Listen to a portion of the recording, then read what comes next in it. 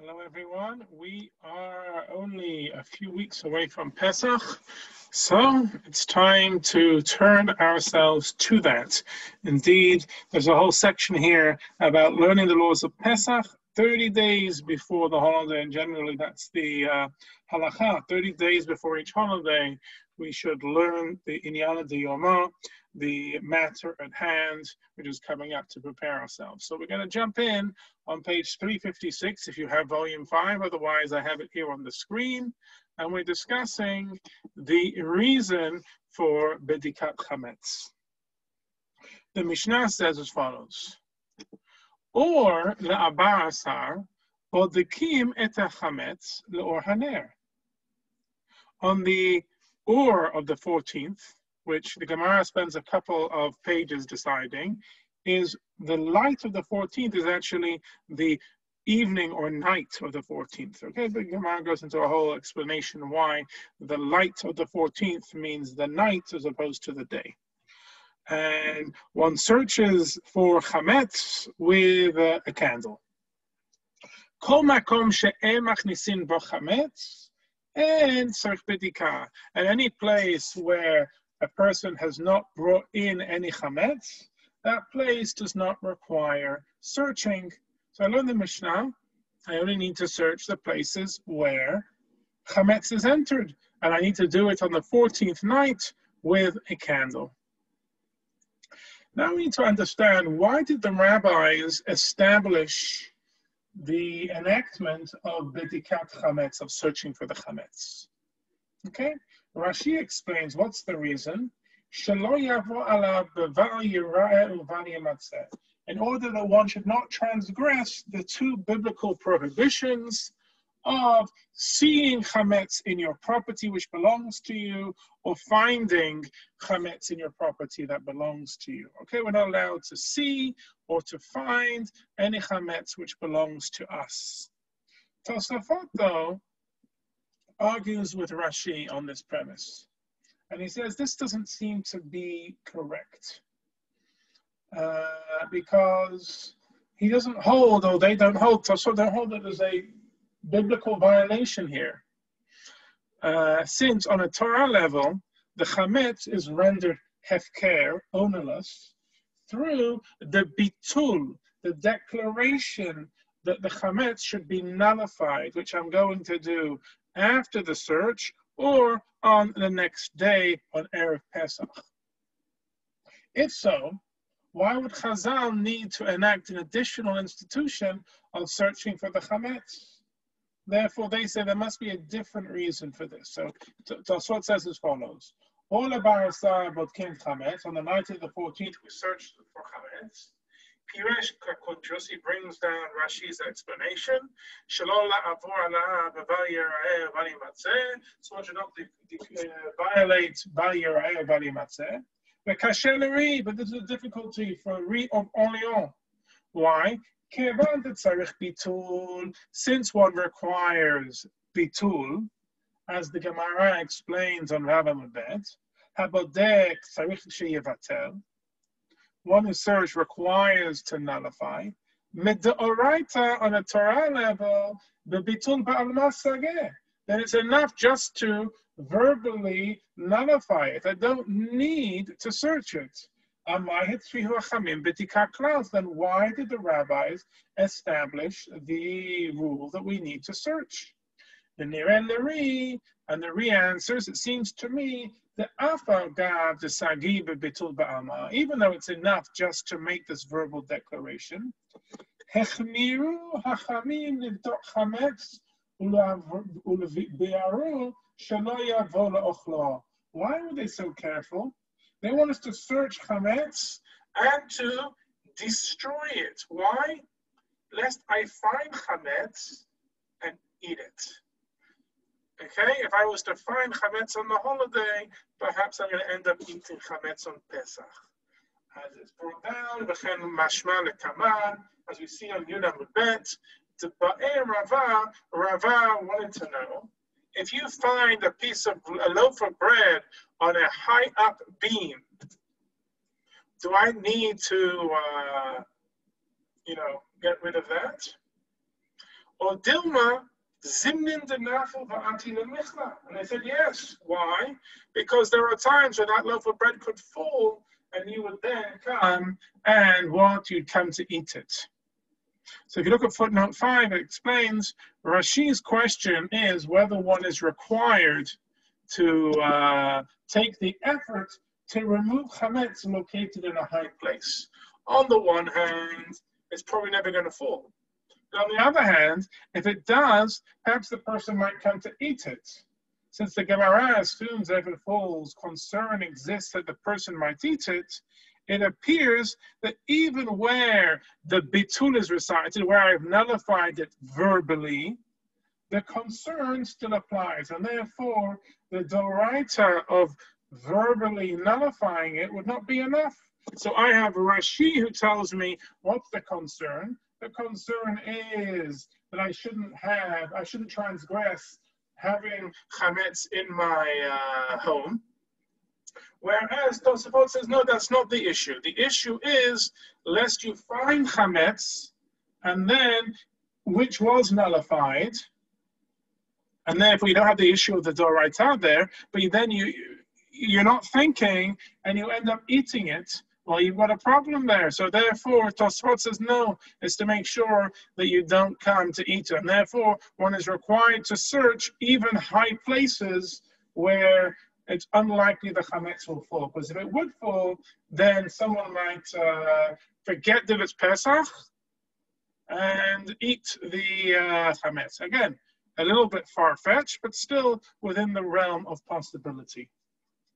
Ran, Rabbeinu Nisim, he wants to come and defend Rashi. Okay, we're doing a little bit of a pilpul here, trying to really understand the reason for this. Sometimes I actually quite like this in the uh, in, in this in this uh, book that we're reading. It doesn't give us just the bottom line. It really wants to try and play between the way that Tosfot and Rashi answer it, and then another Rishon the Ran is coming to defend the way that we interpret the Rashi.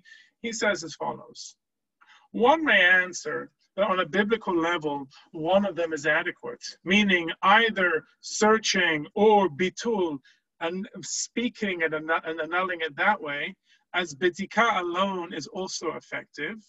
And any case where one searched, one does not need to do the nullification. Therefore, it makes sense to say that the purpose of the bedika, the search, is so that one should not violate bal yira'eh, of uh, not being seen in your possession, as the fact that the sages require bitul following the bitika is only by rabbinic rule.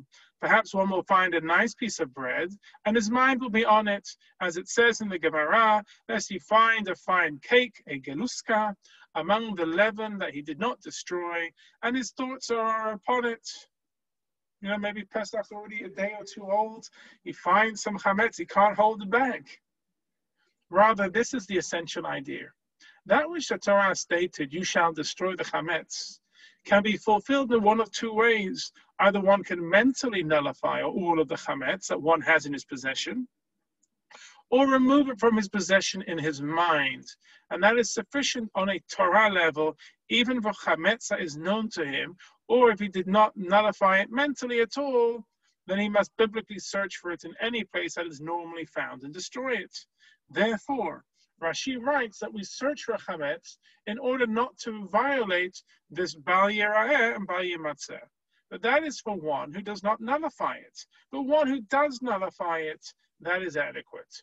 But since this bitul is dependent upon people's thoughts, and they do not have the same thoughts as each other, it's possible that they will be lenient and not remove it from their hearts entirely. And therefore, the rabbis felt that one should be stringent and that betul is not adequate and they require betika and not just bedika, but biur, destroying it, which is also sufficient on a biblical level or they required and Bi'ur because they were concerned that if he left it in his house, he may come to eat it.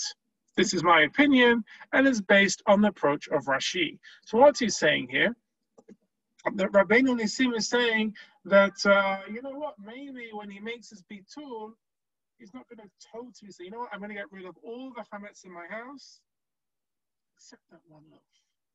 And therefore they make us check. The rabbis made us check for it, because once we find it and it's Erev Pesach, then we're going to destroy it and remove it from our homes. Now, Rabbi Akiva Eger, the Ashkenazic Acharonim, great commentator on Shas and really enjoys Pilpul, he says this doesn't make any sense.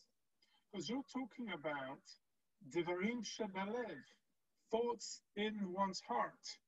And we know in Nandemarim, they're not really considered in halacha to be binding. If so, the verbal declaration, me speaking and saying, I want this chametz to be, I'm nullifying my chametz, even if in my heart I am limiting that one loaf of bread, what I'm saying in my heart is based in halacha. What's, what's important is that I'm saying with my words that I'm nullifying it. So how do we resolve this? So he says like as follows. One must answer that the word bitul does not refer to actually becoming hefker, ownerless. Rather, it is just an indication of what is in his own heart. That one does not consider it significant, but rather one considers it like dust of the earth. So since we are evaluating what is one, one's heart, meaning in a manner of revealing his intent, then if that is not his intent, then his bitul is meaningless. So he says here, normally I would say the bitul, sorry, the devarim shabalev are meaningless. But here, because it's contradicting what his words are saying, then his bitul, the verbal nullification, is nothing, and his thoughts in his heart are everything. And that's why the bedikah is, is required, and the Devarim Shebalev are what is considered important. Okay, so understand this. Normally, what do I say? Devarim Shebalev, you're not punished for how your heart feels. However, if you're verbally declaring, I'm nullifying all of my chametz, but in your heart you're saying, accept that one loaf of bread, what's going on in the heart is, is paramount. It takes center stage.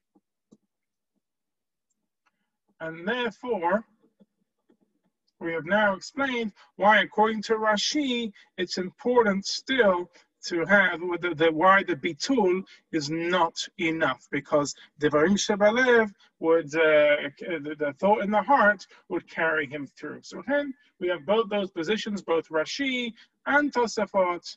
That uh, Rashi, I don't want to, maybe the nullification won't be done properly, or, according to Tosfot, perhaps he'll come and find chametz which he didn't expect to find, and he'll eat it on Pesach by mistake. Now, now that we've done all that interesting pilpul, now we're going to jump in and understand the time for searching for chametz and the restrictions which come with it. So this is very similar to the laws of the Megillah. Okay, on the Megillah, on uh, for Megillat Esther, we know that we do it as soon as possible after nightfall, and everything else is secondary to it. This is true also for Bedikat Chametz. Everything is secondary to Bedikat Chametz. So the Gemara says here in Psachim Dalad Amud Aleph, Amar of Nachman Bar Yitzchak, בשעה שבני אדם מצויים בבתיהם, ואור הנר יפה לבדיקה. When do we search? Rav Nachman Bar Yitzhak says a time when people are in their homes. And where the light of the lamp is good for searching. Now, when is the time when the good, when the candle is good for searching? Says the Ra'avad, הטעם הברור שכל המקומות שהוא צריך להקדים לתחילת הלילה. Why do we want to do it at the beginning of the night? Such as the tikat chametz and lighting of the torches. Why? מפני שעדיין יש שם אור היום ואינו חושך. Why? Because or the beginning of the night is when there's still a tiny bit of daylight left it's not totally dark. You know, you go out sometimes after Shabbat, right after, and you can see that little orange red haze at the top of it. That's what it's talking about. That's the perfect time at the beginning of the night where it's perfect for searching for chametz by the light of the candle. And the Shulchan Aruch codifies this with Chirat Leil Yodala Nisan. At the beginning of the night of the 14th of Nisan, we search for the chametz with the light of the candle, and we search the holes and the crevices the cholam all the places sham chametz. Anywhere it's normal for someone to bring in chametz. Now, if you know that you have children who will bring in chametz everywhere, you got more places to check because they will find places, drawers, cupboards, closets, pockets, anywhere you can think of. So you've got more places to check because kids bring things everywhere. The Mishnah Berurah uh, explains, Techef achar yetziat hakochavim, what's the beginning of the night? Right after the stars come out, sheyesh adayin ketzat me'or hayom, there's still a little bit of uh, daylight there. V'oi lahatchil livdok, and it's a fitting to check, kedei shelo yidrashel, in order someone does not become lazy, or shelo yishkach, or he does not forget. Now, what are the restrictions to this bedikah? Amar Abaye, Abaye said, Hilkach, therefore, Heitzur Rabbanan. Now, Torah students, Lo niftach be'idnei be'orta d'tfleisa d'negi abarsar. A person who is a Torah study, they should not begin their learning on the late afternoon of the 13th, at the beginning of the evening of the 14th. Why? Dilma because a Torah scholar is going to be so engrossed in his learning that he will forget about doing the mitzvah of searching for bedikat chametz.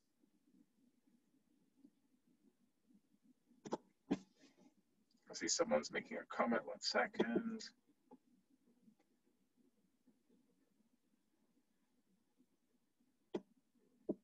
So how do we resolve this?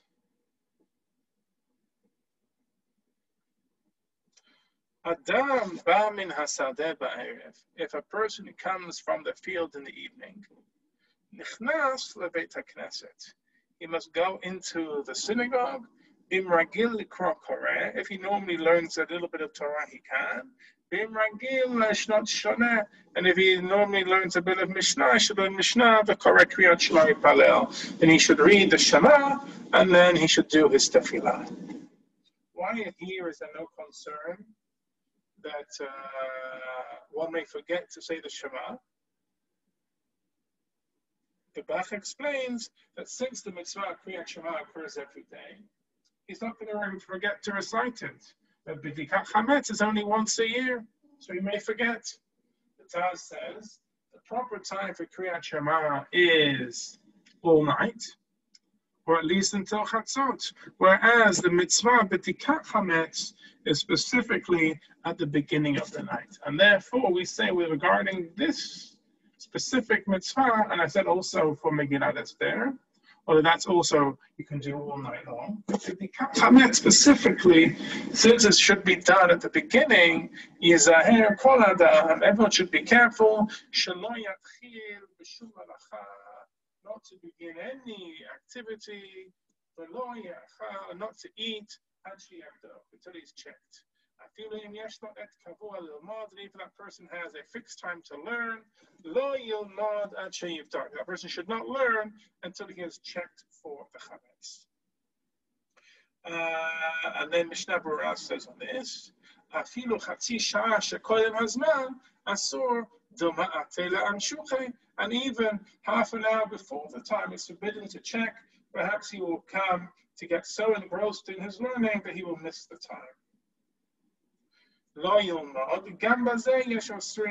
And regarding to this, there are those who also forbid even half an hour kodem before, perhaps you'll get engrossed too much.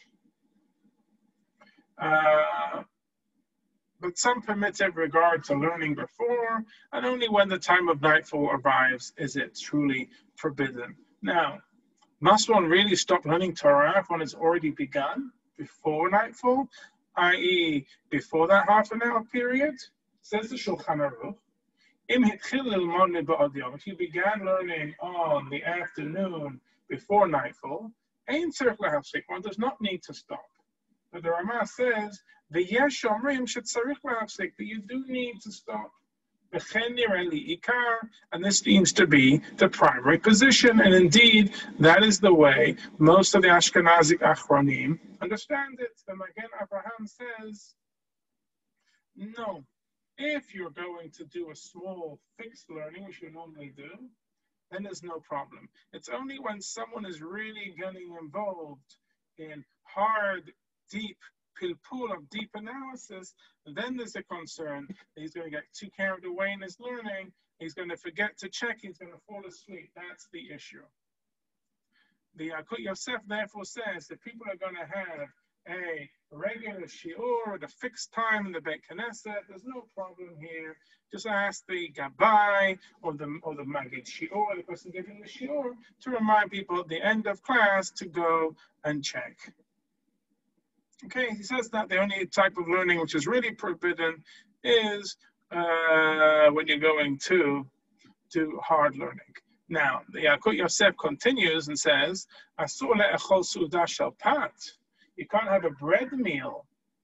Yoter mishiyok with a large amount of bread, kodem b'tikat chametz, before the searching chametz, which is half an hour before this time. The din ha'uga din ha'pat. And the law for cake is the same for bread. So you can't have a large uh, kind of pata babikistin. You can't have crackers or pizza or things like that.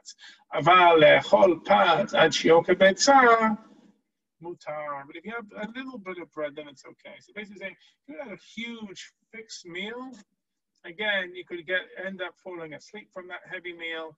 Don't do that around the time for searching. We'll pair up the Yerakah, but fruits and vegetables, non-gluten, or those who have nice light meals during the week, not a problem. And similarly with rice and the like, uh, the cafe and even coffee, all those are permitted. But strictly speaking, uh, even after nightfall, one shouldn't really be eating anything. All this halakha is telling you is really take bidikat chametz seriously and try to do it at your first opportunity. What to do if you cannot be home at the time for bidikat chametz? Okay, you're at work, you can't get out of it. Uh, Ben Zion Abba Shaul Shalom writes in his in his Or Tzion, he says if one wishes to remain in the store, he can appoint his wife or his children to search the chametz on time. And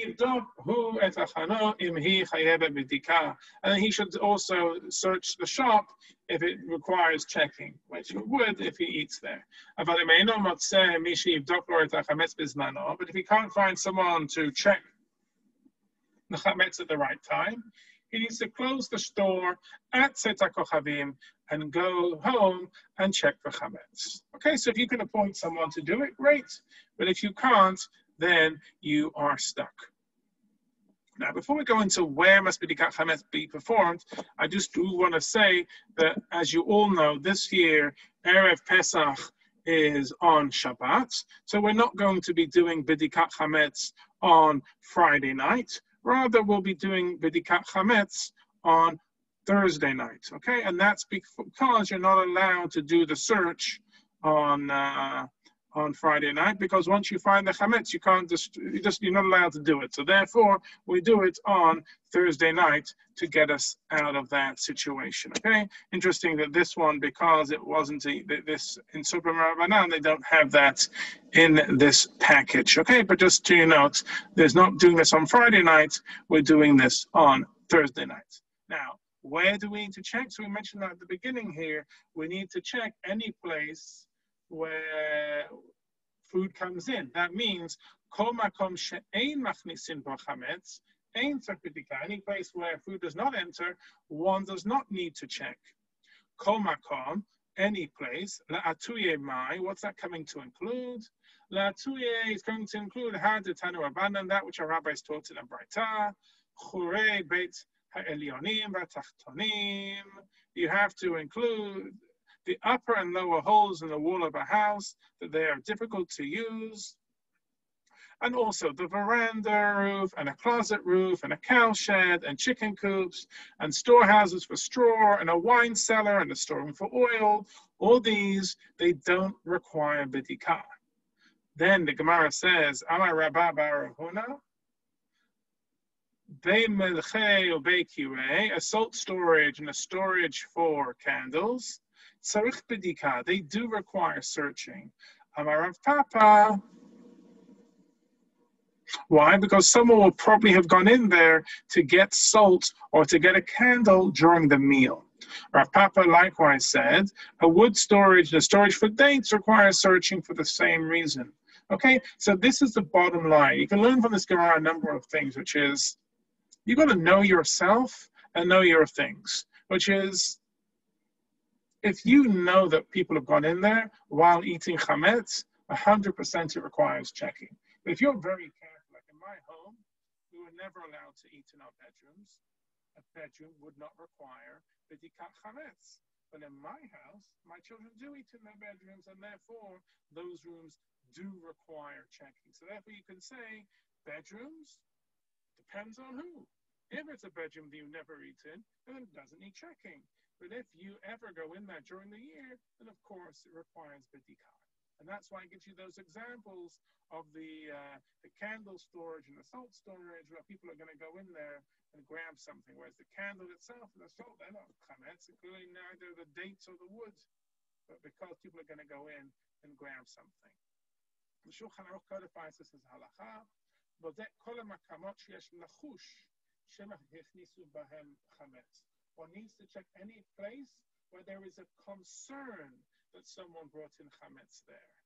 Therefore, kol chaderei habayit, all rooms in the house, and the attics require bedikah. Such a person sometimes enters there with bread in his hands, but wine cellars in which a person does not usually take a storehouse or straw and the like, then they do not require bedikah. So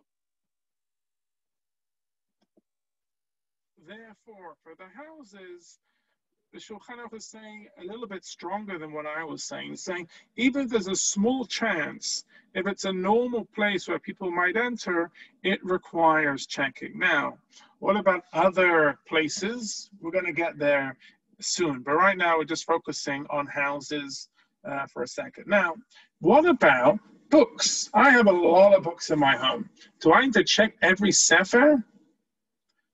Unsurprising, you won't be surprised to know the Ashkenazim are strict here. And the Chazon Ish says, regarding the concern of the obligation, shetiknu hachamim kedama le'el, ein chiluk bein pirurin legluska yafeh, there is no distinction between crumbs and a nice loaf of bread. Therefore, we should have to search the books. Mishum chashash pirurin, because of the concern of crumbs.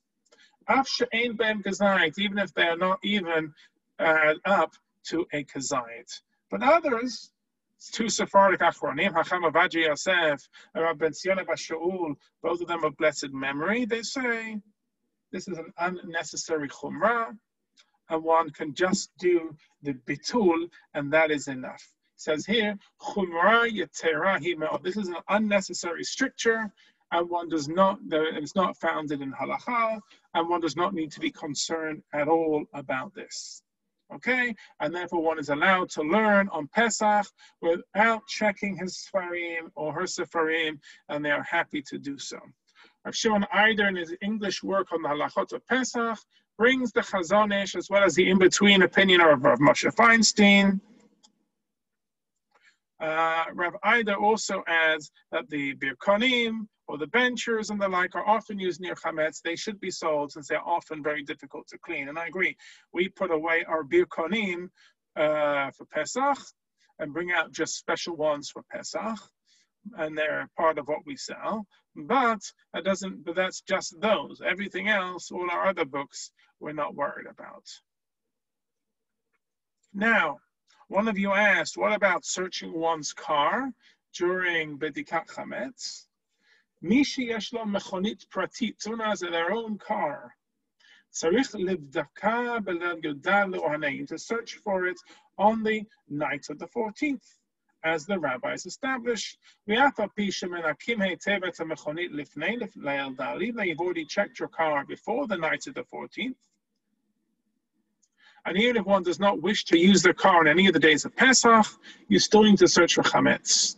Similarly, public buses and airplanes belonging to the Israeli-owned airlines must search for chametz on the night of the 14th, even if it's cleaned well beforehand. Nevertheless, when one searches one car, you do not make the beracha of al bior chametz again. Rather, the beracha, which you did at home, that covers everything, and you have in mind you're going to search the cars as well. What about synagogues? Says the Shulchan Aruch, also, synagogues and houses of learning, they require checking. Why? Those kiddies. Because the kids keep bringing in chametz into them. And on the night of the 14th by candle, the Mishnah Berurah says uh, but the attendants are not careful to search at night, but just sweep well during the day. But they are not acting properly. I must warn them that they should fulfill the mitzvah of the sages and do it. Now, just so you know, this always falls on me. This is one where the rabbi really gets paid well. After I've checked my house and after I've checked my cars, then I go to the synagogue and make sure all the chametz is gone. Shulchan Aruch says about this.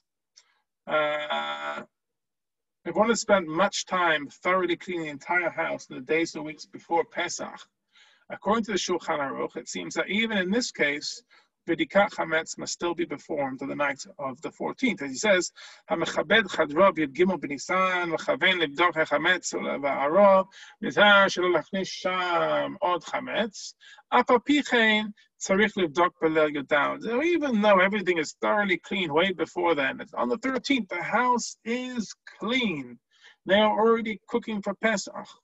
Nevertheless, you still need to check on the night of the 14th. וכל אדם צריך לכבד הדריו קודם הבדיקה, בכיסים או בתי יד של בגדים, שונים בהם לפעמים חמץ צריכים בדיקה. And everyone must sweep his room prior to the bidika, and his pockets of his clothing, which one occasionally puts chametz. All that requires searching. Despite the fact that one must still perform a bedikah, nowadays many poskim, including Rav Shlomo Zalman Auerbach, suggest that the manner in which the bedikah is done after cleaning their house may indeed be different than how it was originally performed. He writes, but in our times, when we sweep and clean extremely well, there is no obligation to carefully inspect every single place in the house during the bedikah that that has already been done when they clean during the days prior to Pesach.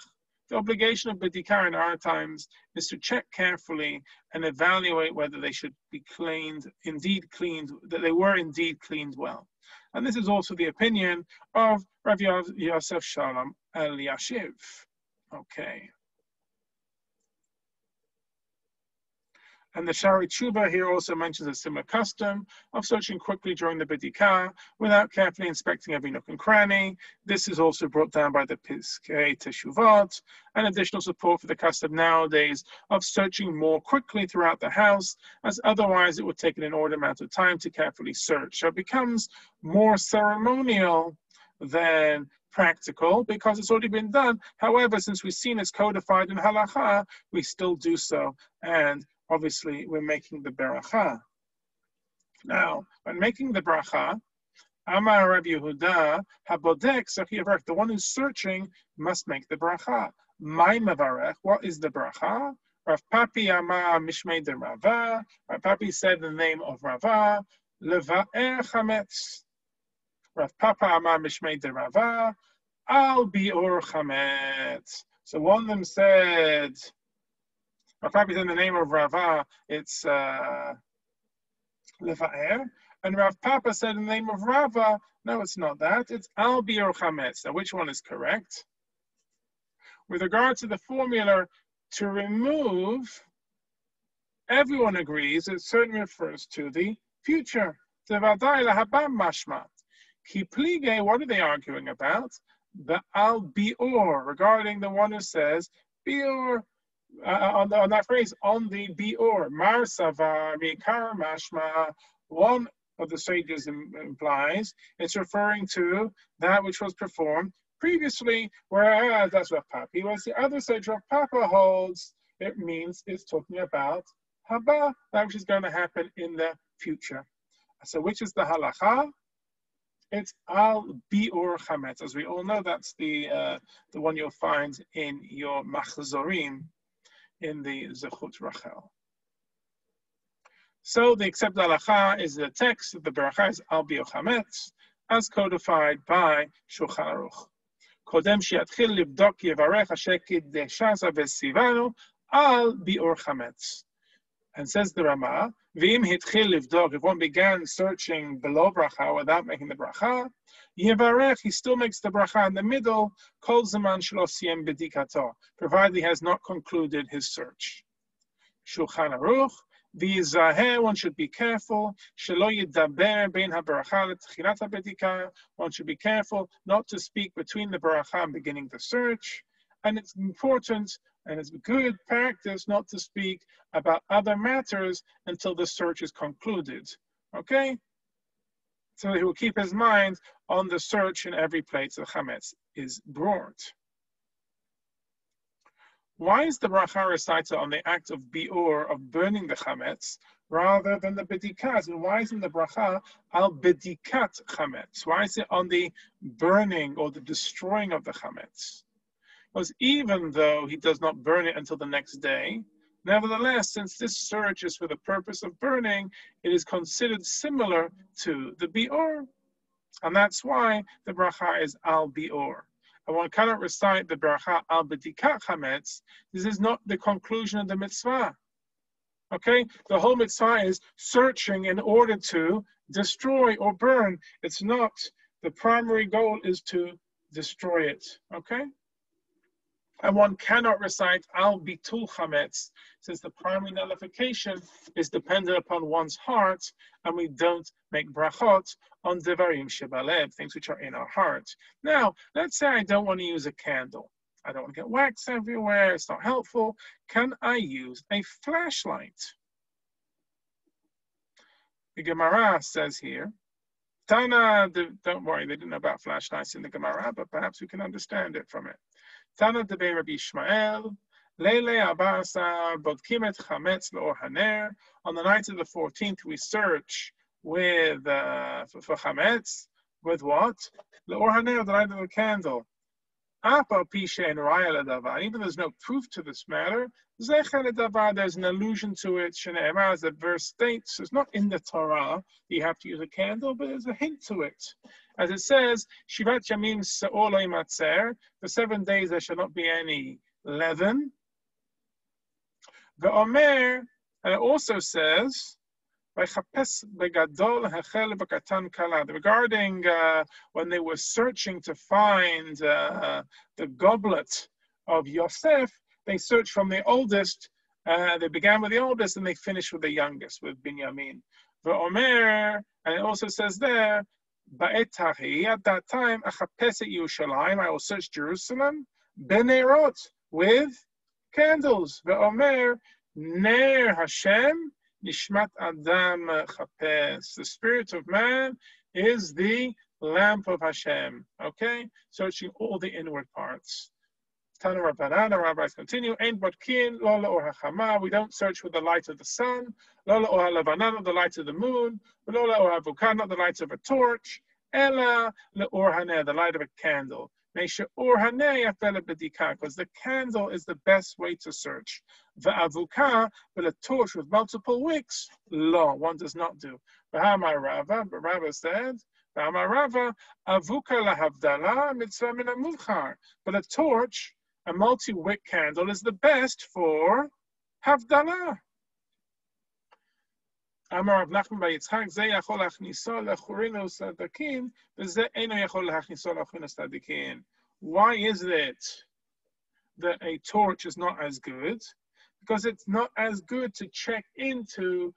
the holes and crevices. It's too big to get in there, but the small candle flame can get in there. Rav Zvid Amar, ze oro lefanav, ze oro le'acharav. This lamp projects its light before it, allowing one to search properly, whereas this one, the torch, projects its light behind it on the person conducting the search. It doesn't help you. Rav Papa Amar, Hai Ba'it, Lo Ba'it. This one, using the torch, one fears, and one uses the other one, he does not fear. Why does he fear? Perhaps everything's going to catch on fire. Ravina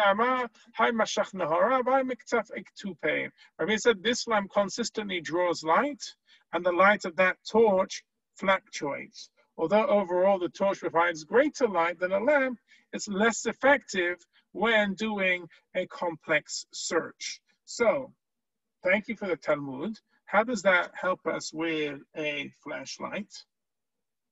Does that help out? Does that, uh, which one do we say a flashlight will give us a spot and so therefore it's like a lamp? Or do we say that a flashlight is like a torch? And that's a pun, by the way, because a flashlight and a torch are the same thing. A torch in English is what we call a flashlight, but boom, in England. So, what is it? L'or hapanas, is it permitted? It is permitted according to the strict halacha, to search using a flashlight. Why? Since the reason for the enactment to use a candle is that its light is concentrated, and the light of a flashlight is also concentrated. And there is even an advantage to a flashlight that there is less concern that it may cause a fire or worse.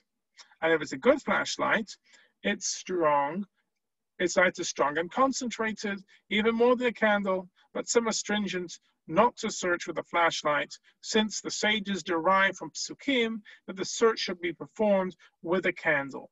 However, a flashlight could also be considered a candle since the thread of the filament is the flame and the battery is the oil. In practice, the widespread custom is to search using a candle, as Chazal are accustomed to doing, but the halacha is that anyone who wishes to search with a flashlight is allowed to do so.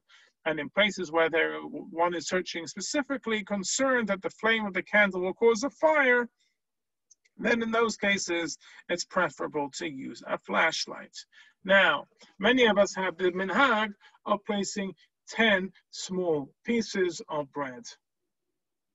Okay, how do we do so? Okay. We don't want to make a bracha if one does not find any chametz, and there will be a bracha levatala. Therefore, the Kol Bo suggests that for this reason, it's customary for other family members to hide 10 small pieces of bread for the one searching. And now it's important here to make sure that these pieces are small, less than a kazait. So if there, are not, if one of them is not found, one does not need to worry that they have uh, lost some chametz in their house. It is customary to place, in some places, to hide small pieces of bread in the cracks of the houses so that the one searching will find them and destroy them. And if he does not find anything, there is concern for a bracha levatala. But we have not been concerned for that, since our opinion is that when reciting the bracha on burning the chametz, the intention is to burn it if it is found. Okay, so even though we're not concerned about bracha levatala, the minhag is still to uh, hide pieces. The Rama writes that lechatchila, one should hide the small pieces of bread to comply with the custom of the Kol Bo. However, if one did not do so, the Rama holds that one may rely on the Kol Bo's opinion. The bracha is on the actual bedikah, not the finding and burning. Okay, as the Rama says, "V'nohagim lehaniach b'tzitei chametz b'makom she'imetzaen habodek." כדי yeh brachat ברכתו לבטלה מיהו. אם לא נתן, לא עקב הדדת כל אדם עם הברכה לבאה אם נמצא. And the custom is to place small pieces of chametz in places where the one searching will find them, so that his beracha will not be in vain. But if one did not place them, it does not impede. And the intent of every person with the bracha is only to burn it if it is found. The common custom today is to place 10 pieces of chametz out, and the Mishnah Berurah writes there's allusion to this customs in the writings of the Arizal. Nice Kabbalistic reason here that the custom that one should place 10 small pieces out, but one should be exceedingly careful not to lose any of the pieces. It's a good idea to write down where one places the pieces in case one forgets where they are. But if nonetheless one of them got lost, the Or L'Tzion writes that one need not spend effort to find it. Rather, one should simply rely on the verbal declaration of Bitul shortly after the Bedikah. One who hid 10 small pieces for the Bidikat Chametz and only found nine, what should he do? Other than having a uh, than having uh, freaking out, he should not. So he should search for it and try to find it. But if he does not find it, he may rely on the bitul. That suffices, but that only works if it's less than a kazayit. Okay. Now I don't know why, but bidikat chametz always, always, every year stresses me out. But just some nice, straightforward things. Write down uh, the people who are hiding it. Write down where it's going to be hidden. Make sure they're all small pieces. Make sure everything is prepared. Make the bracha. Do it right after the uh, after nightfall, and it should all be straightforward. This year, because it's uh, Erev Pesach on Shabbat, we're going to do it on Thursday night.